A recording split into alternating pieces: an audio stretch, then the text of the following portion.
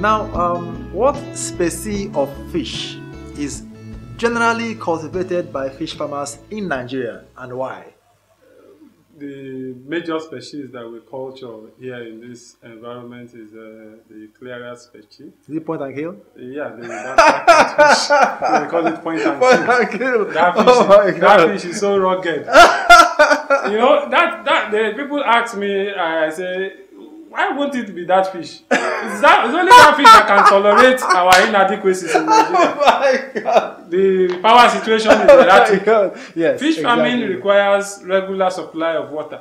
So if you don't have water, particularly in a climate where the water is, I mean, the, the power is stable, they even do recirculatory so that Wow. the water environment where the fish is is stable. The pH is constant, the temperature is constant, and everything. But here we can't do that because of power. Exactly. So it's only they will see uh, fish farmers. They will put water today. The next one week they have not changed the water. It's only catfish that can tolerate that. exactly. Tilapia also we are doing now, but very few people are doing tilapia because tilapia cannot withstand what catfish is withsta- withstanding, what uh, is withstanding. Because with the little oxygen um, depletion in water, tilapia dies off. Exactly. So those are the two we are doing currently. Exactly. Thank you. Um, beyond breeding, rearing, and harvest for sale, how can the current fish farming practice be enhanced? Uh, well, like I said earlier in my lecture, uh, I think that should be the direction basically, enhancing the fish product by ensuring that they are smoked, smoked to the point that it, they can be exported, it can be marketed, smoked and packaged properly to international standard. Exactly. You could also fillet it. Exactly. That is removing uh, the bones, just the flesh. Removing the skin, you just have just the flesh. And that can also go into supermarkets. People buy that and also you can also can it. Can it into small cans like geisha, your Titus, you know. Okay, good, good, good. Um, how large is the market for fish in Nigeria, particularly farmed fish? Uh, The, the, the market is so enormous. Point and kill. For for Nya- Nyamonga, nyamonga.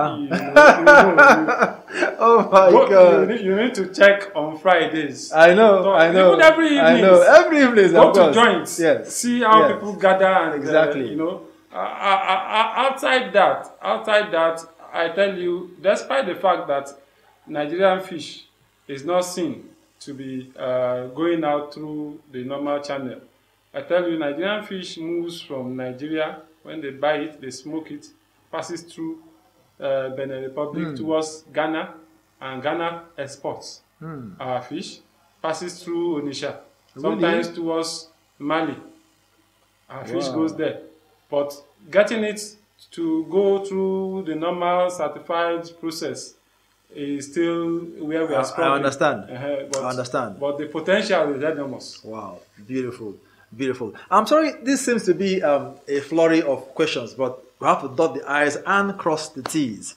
Now, this should have been my very first question because, in my opinion, your wealth of knowledge on this subject is almost unprecedented. I must say that.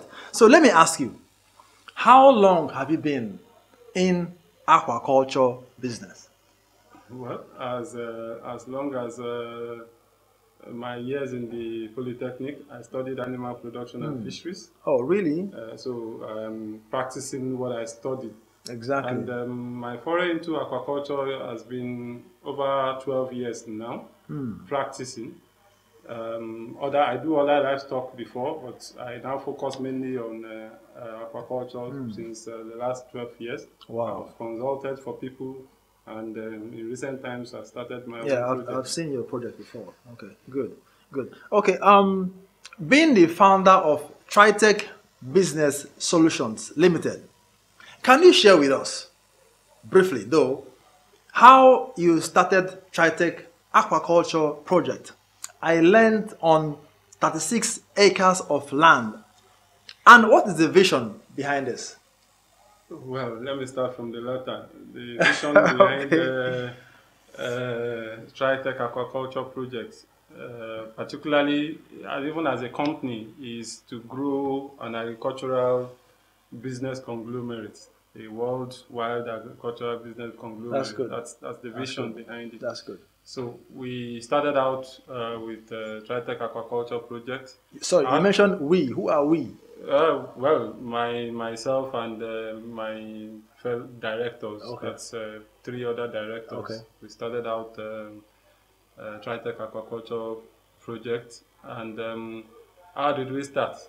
Particularly being the founder, I had barely thirty-five thousand, and I just conceived an idea, and I said, okay, uh, can we bring people to invest in this business? I started talking to friends and um, relatives, talk, spoke to my society, and people started investing on trust in the company. And uh, we started the business some two years ago.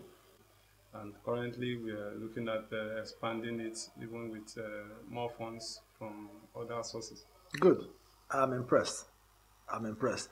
Um, I'm going to ask you a question that distinguishes our talk show. What measurable impact has TAP, that is um, Tritech Aquaculture Project, what measurable impact is TAP expected to make in aquaculture as a sub-sector? Wow, the impact of uh, uh, TAP, Tritech Aquaculture Project, is enormous. Uh, firstly, the capacity of the farm, the farm is going to do about 300, uh, um, about 3,000 tons of fish uh, annually. Annually. annually. Wow. Uh, processing plants um, will smoke 600 tons, metric tons of fish Wow. every month Is this on paper or is realistic? realistic from the layout, from the planning, Wow. uh, the, the building setup, and all that. Okay. Um, from the, the the filleting facility can do 40 tons per month, 40 metric tons per month, Wow. while the canning facility is supposed to do like 10 metric Wow. tons per month. While our hatchery also can produce 1 million juveniles per month.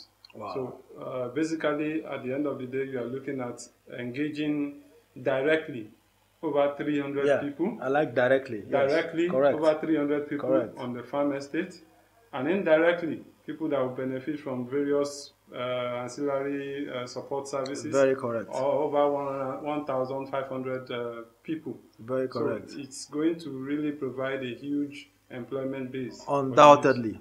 Undoubtedly. I am impressed, Mr. Ademola. This indeed would be um, a huge impact on employment and, of course, um, food production, you know, environment, um, Epe and um, And Lagos State, and, of course, Nigeria. Nigeria. I want to ask you a very important question. What would you want the government to do for, or to do more for the subsector, and, of course, agri sector in particular? Uh, well, um, for me, I, I think uh, government should pay more attention to the agri sector. Particularly, uh, they should go away from paying lip service. You don't expect uh, somebody that has large expanse of land.